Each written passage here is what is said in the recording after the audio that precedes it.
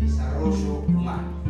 La pobreza es la, a partir de la inmersión de la cuestión ecológica, hay un nuevo sujeto de derecho protegido, que son las generaciones futuras. El derecho ambiental representa produciéndole pérdidas de chances al hombre del pueblo con los centros del poder político y económico. Aqui nesse seminário, nós estamos discutindo como avançar mais ainda para que, com uma legislação boa, com boas constituições, se possa garantir para o presente e para o futuro um meio ambiente equilibrado. As leis brasileiras de proteção do meio ambiente são consideradas das mais modernas e, e avançadas do mundo. O Brasil, portanto, é um modelo no que se refere à legislação ambiental. Nós temos dois grandes problemas.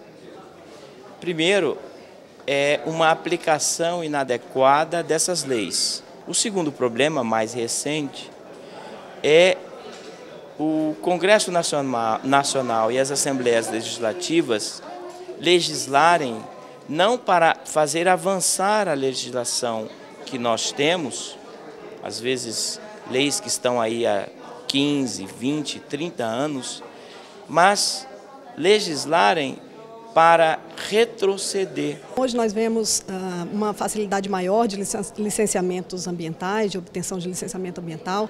Nós tivemos a alteração no Código Florestal, que diminuiu a proteção dos direitos. E nesse momento, o Poder Judiciário passa a exercer um papel ainda mais importante para tentar defender esses direitos que estão sendo ameaçados. Os juízes, eles acabam atuando não só para evitar ou, ou desfazer atos que são contrários à proteção ambiental, como também para determinar ações de políticas públicas ambientais. Ao mesmo tempo que estamos tratando é, da constitucionalidade, do direito constitucional ao meio ambiente, aos direitos humanos, a importância que temos, o Senado e a Câmara apreciam medidas provisórias que tiram direitos das populações, que diminui unidade de conservação, que ameaçam os direitos das populações indígenas. Tudo isso que queremos fazer de proteção ambiental se choca com a mentalidade que prevalece na sociedade mundial